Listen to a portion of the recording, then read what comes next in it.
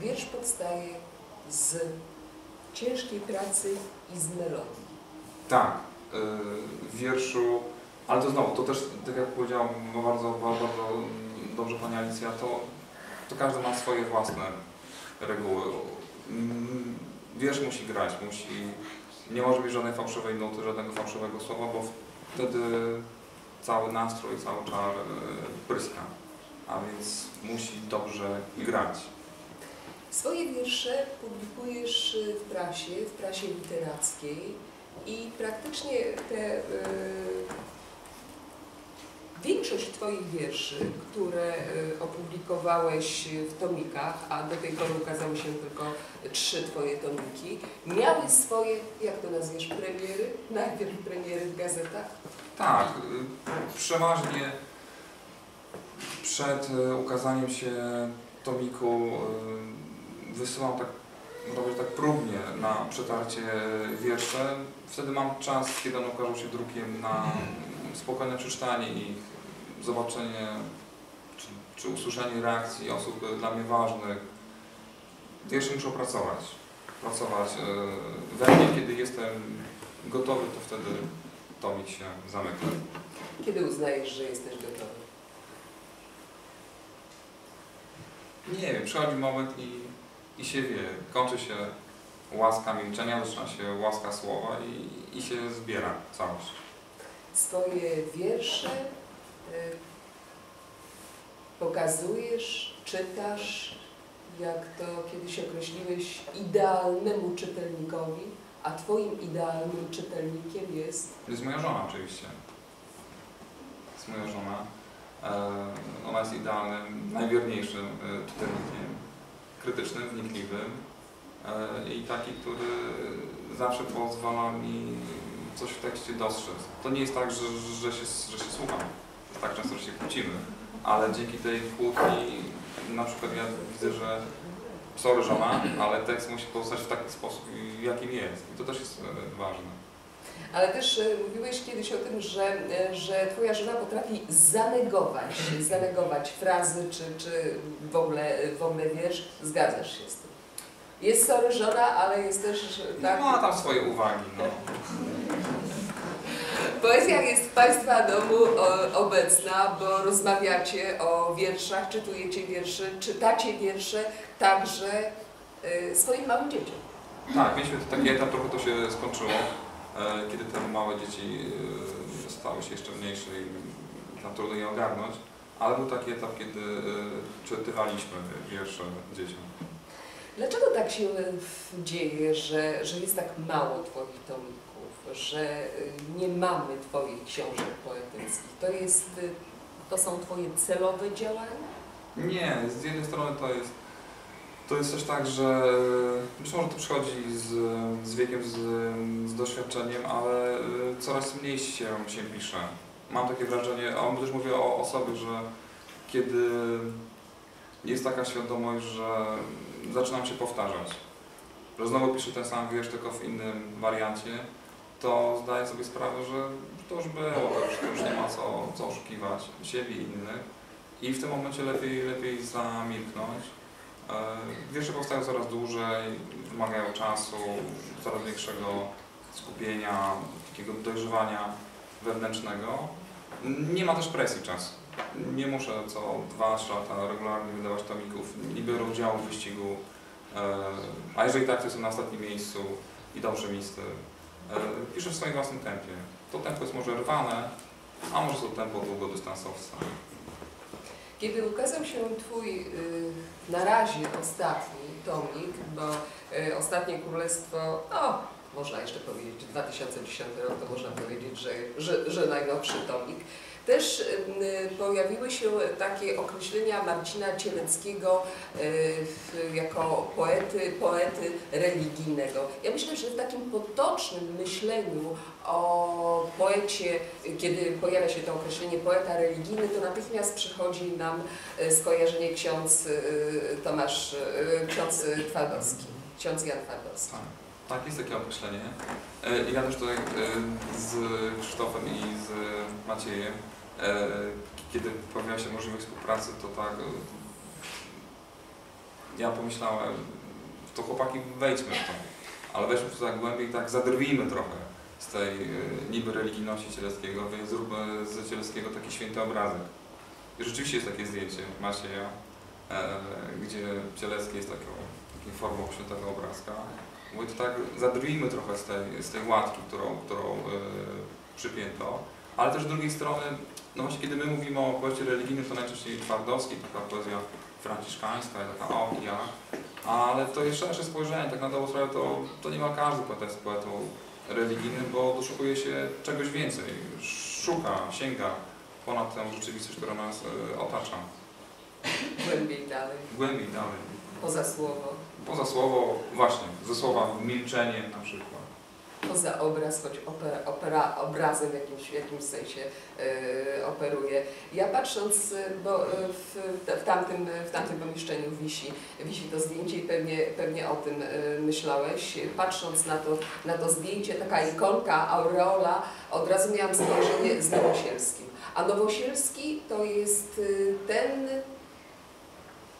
teolog, malarz, to jest ta postać, która jest dla Ciebie ważna. Tak, Nowosielski, malarz, teolog, myśliciel, y, postać bardzo skomplikowana, ale niesamowicie bogata wewnętrznie. Myślę, że on też miał y, problemy z taką łatką y, człowieka religijnego, a zwyczajnym człowiekiem myślącym o, o wielu sprawach. Ale mówiąc o tym, że Nowosielski jest dla Ciebie ważny, to y, chcę również y, przypomnieć to, że jesteś autorem y, esejów, w tym także poświęconego, jeden jest poświęcony właśnie Nowosielskiemu. Tak, powstał taki, taki esej mówiący o, e, o cierpieniu zwierząt w myślach, e, w pismach Nowosielskiego. On ma tam bardzo ciekawe, ciekawe mm, sformułowania. Może też nie ma sensu lub tego to, wszystkiego e, omawiać, ale mam też takie wrażenie, że tak na dobrą sprawę Nowosielski, jego myśli to, to jest dopiero do odkrycia przez nas, to jest przed nami. Może dostrzegamy jego malarstwo fascynujące, ale wciąż y, jego myśli są dopiero dla nas do zrozumienia. Mamy jeszcze czas. Eseje o Nowosiels esej o Nowosielskim, ale także o Jokerze. Co to za figura dla Ciebie? Ehm, tak, Joker, Joker, Joker, błazen, clown. Jest taka postać, która się przewija przez, e, przez sztukę współczesną, zwłaszcza w XX wieku e, bardzo, bardzo mocno, ale jest to postać, która jak się okazuje przewija się, czy dostrzegamy ją znacznie wcześniej, że to będą karnawały błaznów, święta błaznów, zimowy król, etc., etc. Ta postać jest zagadkowa, bo na pewien czas zgadzamy się wszyscy w historii, żeby zawiesić normalne prawa i stawiamy wszystko na głowie. Potem niektórzy nie, nie, nie potrafią wrócić do normalnego em, porządku. Patrzymy z, takim, z taką zgodą na postać klauna, Jokera, a jednocześnie boimy się. Zastanawiałem się, dlaczego tak dzieje się, że osoba, która się uśmiecha i powinna symbolizować szczęście, jednocześnie w XX wieku stała się synonimem, symbolem zła, bo Joker jest uśmiechnięty, tak jakby chciał nas zjeść przecież. I o tym właśnie jest ten esej. Ty opowiedziałeś, e, e, o czym jest ten esej. Napisałeś także eseje poświęcone e, Dostojewskiemu. Dostojewski jest zarówno w Twojej poezji, jak i eseistyce. Tak. Bardzo mm, w okresie li- licealnym bardzo zafascynowała mnie postać Dostojewskiego i ta, i ta przyjaźń, tak się wyrażę, e, wciąż trwa. Wiele jego myśli, sformułowań pozostało we mnie, ale to Dostojewski jest taki płodny, jest taki zarażający e, innych. Myślę, że każdy w jakiś sposób musi przez Dostojewskiego przejść. E, Natomiast z Dostojewskim mamy taką cichą swoją mowę, że co pewien czas do siebie wracamy. Ale to jest tak, że dialogujesz, e, zwłaszcza w poezji, z e, Dostojewskim? Może nie, może nie tak osobiście, natomiast są, są pewne takie myśli Dostojewskiego, zdania, które, wokół których trudno przejść obojętnie i które wymagają też takiej, takiej sensownej pracy. Zdanie, że piękno zbawi świat. No to, to jest taki, taki, taki, taki strzał w dziesiątkę, to jest uchwycenie pewnej istoty rzeczy. Inne zdanie Dostojewskiego, przerażające. E, Bóg mnie męczył całe życie. To jest wyznanie, przed którym nie można przyjść obojętnie, coś z nim trzeba, trzeba zrobić i najlepiej popracować nad wewnętrznym, w twórczości, w twórczości także.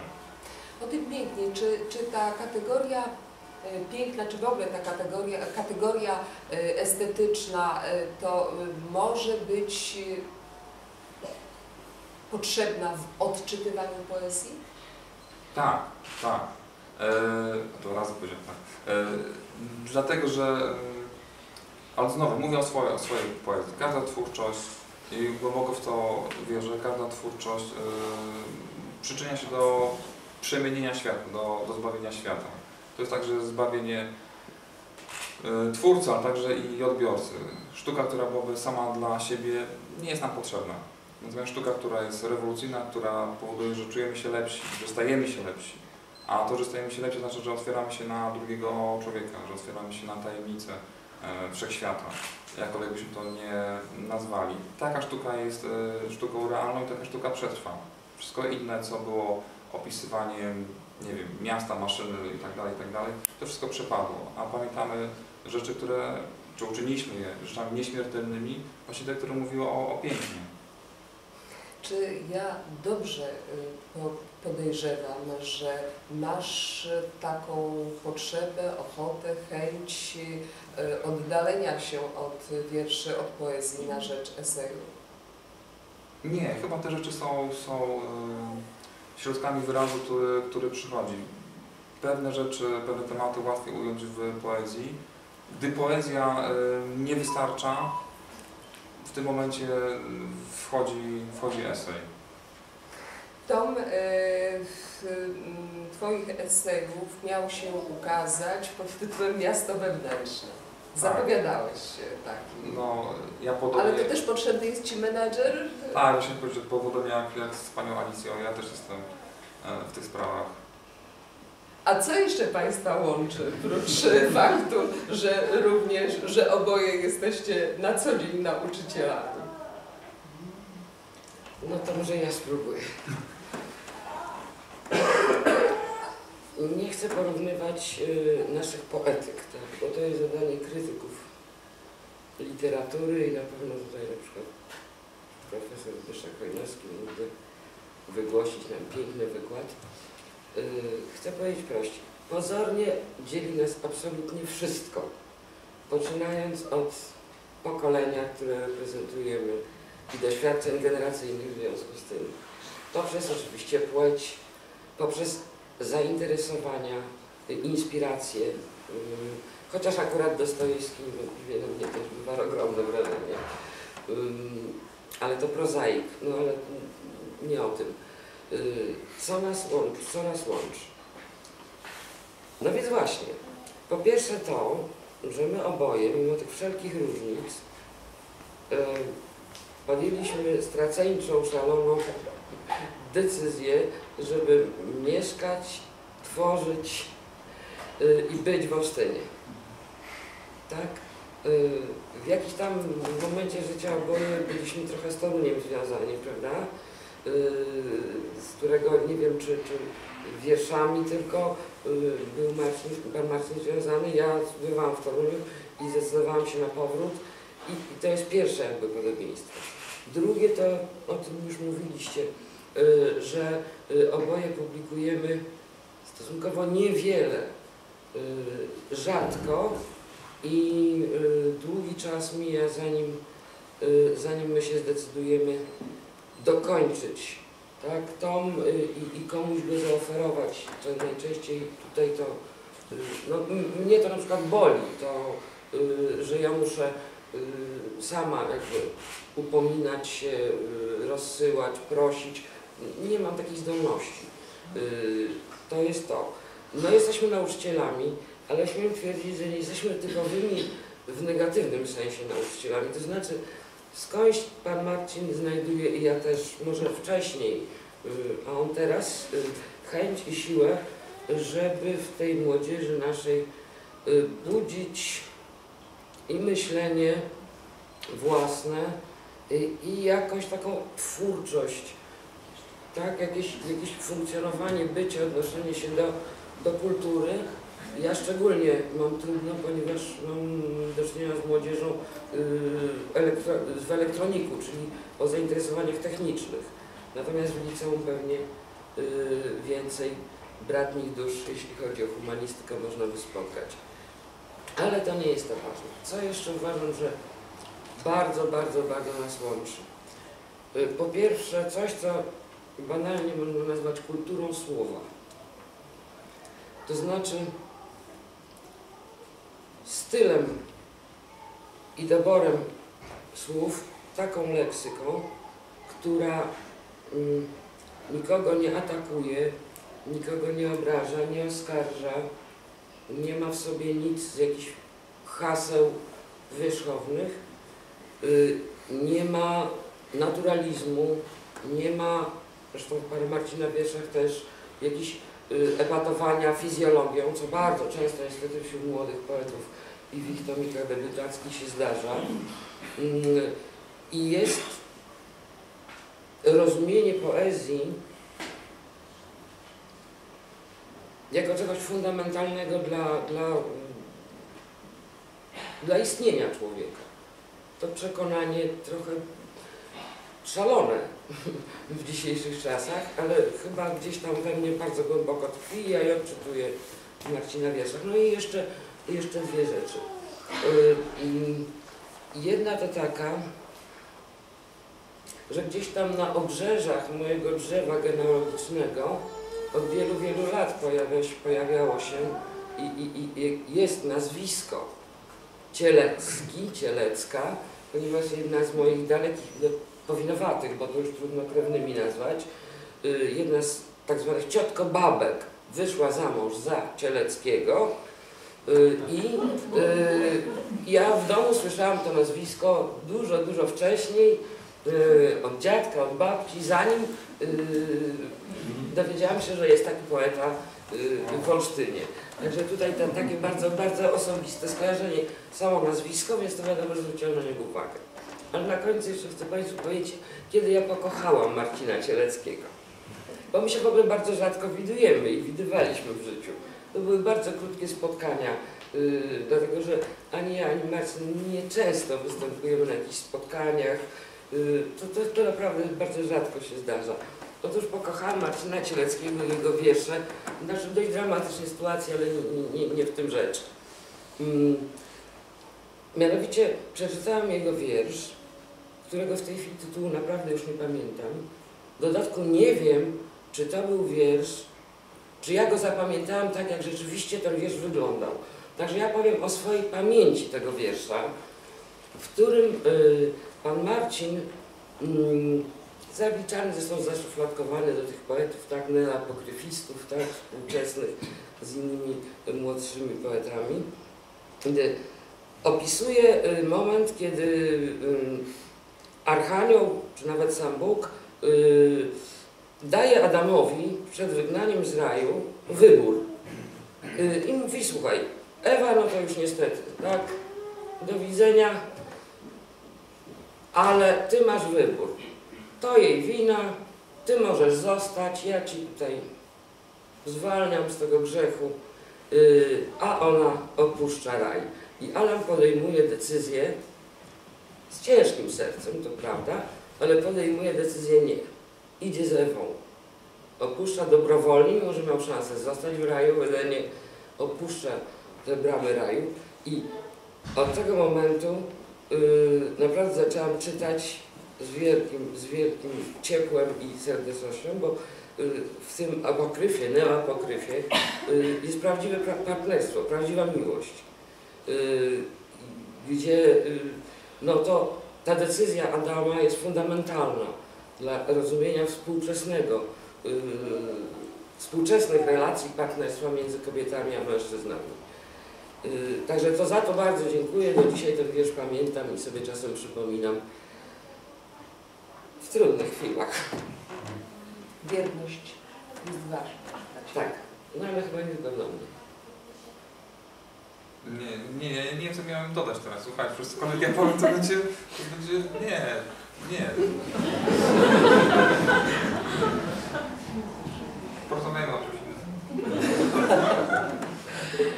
Dziękuję bardzo. E, e, widzisz coś, co może Cię łączyć z Panią Alicją Sarczyńską-Bykowską?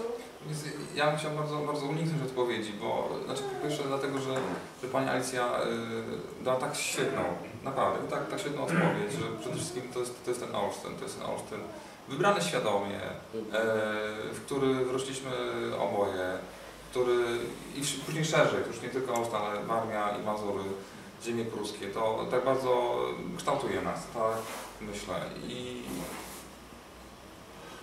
kwestia słowa, kwestia tej takiej uważnej e, poezji, nie, nie szafowanie, nawet też, te, nawet też taka, nie chcę powiedzieć strategia, ale też taki świadomy wybór, że jeżeli nie mamy nic do, do powiedzenia, to my się nie musimy pchać, to, to poczekamy, aż będziemy mieli coś naprawdę do, do powiedzenia.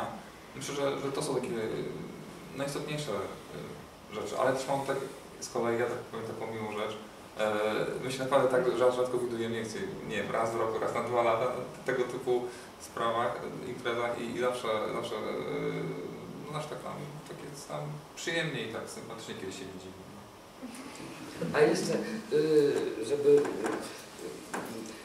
dokończyć to, jak bardzo my wszyscy jesteśmy niewidzialnymi jakimiś zbiegami okoliczności, nitkami powiązani, powiązani, to powiem tak, powiem, że y, tak się złożyło, że y, pan Marcin jest wychowawcą mojej wnuczki. Przez to mam jakby metafizyczny, pośredni kontakt. Znam jego pseudonim, wiem co młodzież stoi. Po prostu wszystko wiem, ale nie powiem głośno. Trzeba się Chociaż nie byłoby żadnego wstydu, nie, nie, nie, ale A, ochrona danych osobowych. a, rozmawiasz, a rozmawiasz ze swoimi y, uczniami o poezji? Nie, ja y, kiedyś tak założyłem y, sobie, może to jest, może to jest błąd, ale myślę, że jednak, że, że, że jednak to jest takie naj, najuczciwsze, że staram się rozgraniczyć te dwie sfery. Jak gdyby tu jestem w pracy i, i pracuję, także na, na, wykorzystując poezję, ale oczywiście in, y, innych twórców. Natomiast y, poza pracą y, jestem poetą. Natomiast raczej nie zachęcam, nie zmuszam mnie na za karę Brzegoszcieleckiego. nie, bo to byłoby dwu- dwuznaczne. Nie, to staram się raczej rozgraniczyć te, te sfery. Nawet jeżeli któryś z uczniów mówi, nie wiem, tam, przeczytałem, no to krótko w tym. To siadę dwa. Nie, mówię, dziękuję bardzo, a pogadajmy o czymś innym teraz. Na lekcji- nie jest polonistą, więc Ja nie musi tak na lekcjach- na ja lek- muszę. Na lekcjach, na lekcjach historii, Twoich, przez Ciebie prowadzonych lekcjach, poezja jest obecna. Tak, pamiętam, że kiedyś rozmawialiśmy o tym.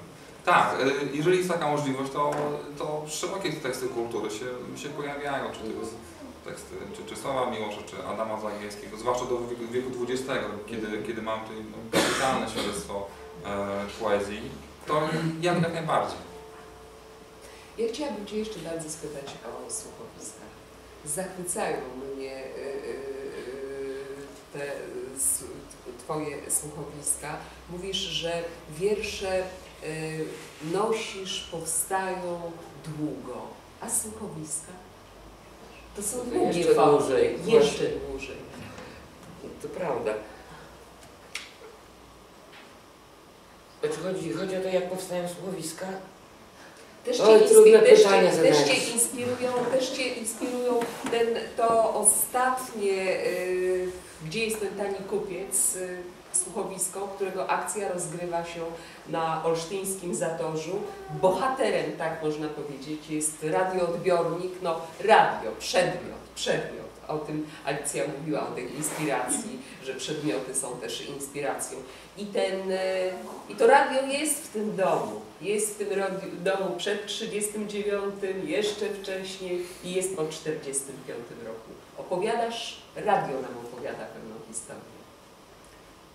A skąd, Skąd ten pomysł? Ym, ym, Ja czasami ym, przeglądam stare dokumenty i w pewnym momencie trafiałam na taką listę urzędową przedmiotów, y, które każdy musiał y, takiego spisu dokonać y, z wyceną tych przedmiotów, które zostały po poprzednich mieszkańcach w tych mieszkaniach, które były przydzielane naszym rodzinom, znaczy tym, które tutaj przybyły po wojnie. I na tej liście między innymi właśnie był ten stary radio- radioodbiornik. Maszyna do szycia radioodbiornik i, i, i różne przedmioty y, domowego użytku. Wszystko to trzeba było spisać, wycenić i za niektóre zapłacić, y, żeby można było legalnie y, z nich korzystać. I tam właśnie taka pożółkła kartka ze spisem tych rzeczy, w których zapisała się jakby historia tego mieszkania, tego miejsca, zainspirowała mnie po prostu. Ponieważ w piwnicy oczywiście y, było sporo takich starych radioodbiorników y, z różnych etapów. Zresztą do dzisiaj one tam y, gdzieś jeszcze tkwią. Y, Tata był inżynierem, pracował w telekomunikacji, więc jakby i, i, i trochę książek i, i mówienia o, y, o radiu w domu było. Y, No i po prostu w pewnym momencie wpadłam w dlaczego to radio nie ma być narratorem, y, dlaczego to radio nie ma być narratorem.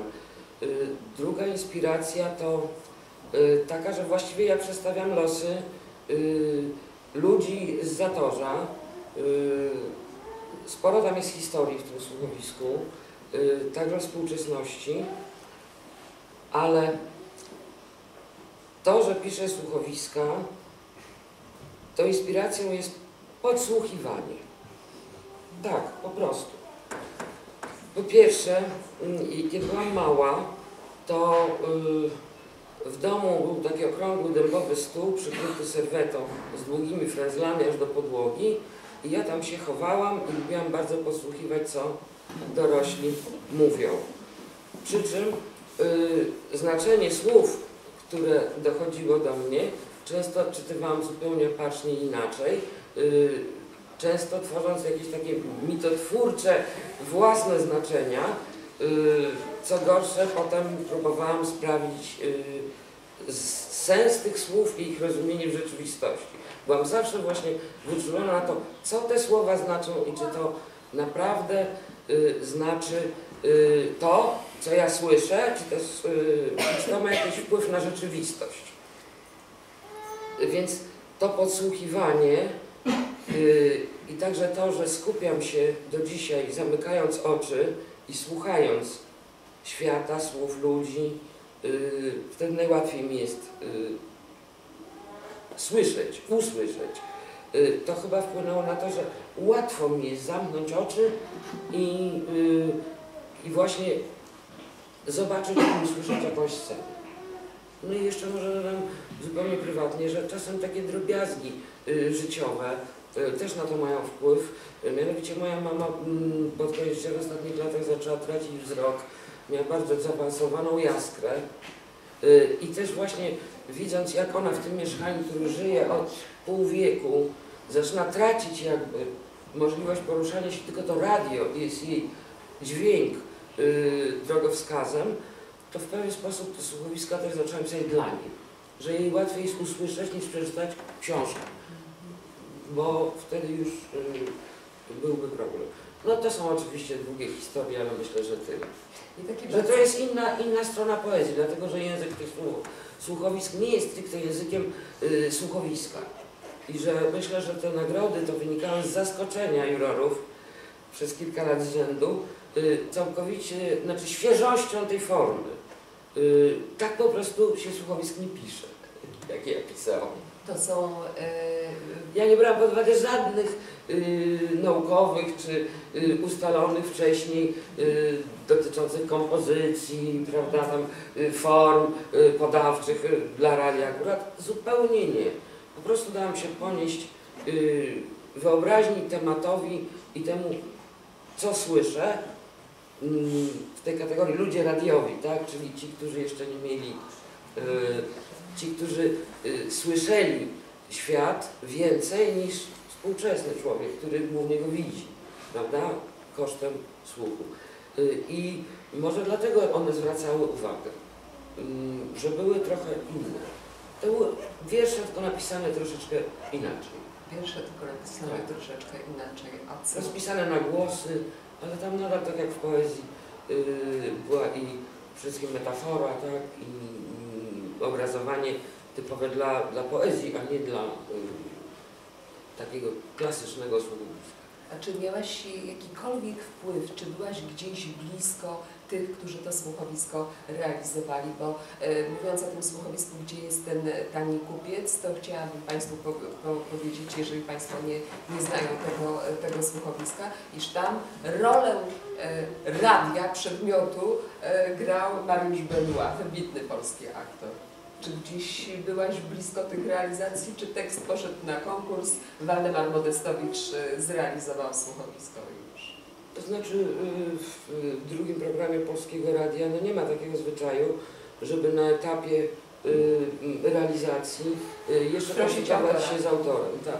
Y, I y, tutaj radio, y, autorzy i aktorzy w zasadzie mają y, dość dużą swobodę, dlatego że słuchowisko, gdzie jest ten tani kupiec y, w wersji radiowej, czyli w realizacji radiowej, to jest zupełnie inny tekst niż ten, Który który, jest, który napisałam. Tak. To jest zupełnie inny.